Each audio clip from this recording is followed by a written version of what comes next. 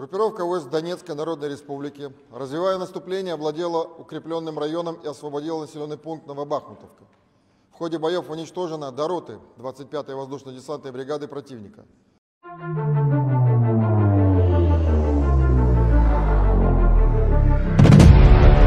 Группировка войск Донецкой Народной Республики, развивая наступление, овладела укрепленным районом и освободила населенный пункт Новобахмутовка. В ходе боев уничтожено до роты 25-й воздушно-десантной бригады противника. Подразделения Народной милиции Луганской Республики продвинулись на глубину 2 километра и блокировали населенный пункт Новоташковская с востока и юга. Вооруженные силы Российской Федерации продолжали нанесение ударов по объектам военной инфраструктуры Украины. Ночью 4 апреля в районе города Лисичанск в результате авиационного удара уничтожен пункт управления 24-й отдельной механизированной бригады украинских вооруженных сил и расположенные рядом склады с боеприпасами, вооружением и военной техникой. В результате нанесенного 3 апреля удара по аэродрому Баловное в пригороде Николаева подтверждено уничтожение трех вертолетов украинских вооруженных сил.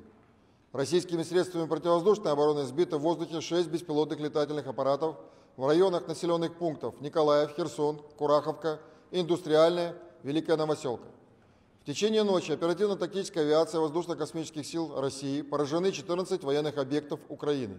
Среди них два пункта управления, две пусковые установки зенитных ракетных комплексов БУК-М1 в районах Красногорка и Верхнеторецкая, одна артиллерийская батарея, два склада ракетно-артиллерийского вооружения и боеприпасов и три склада горючего, а также шесть опорных пунктов и районов сосредоточения боевой техники Вооруженных сил Украины.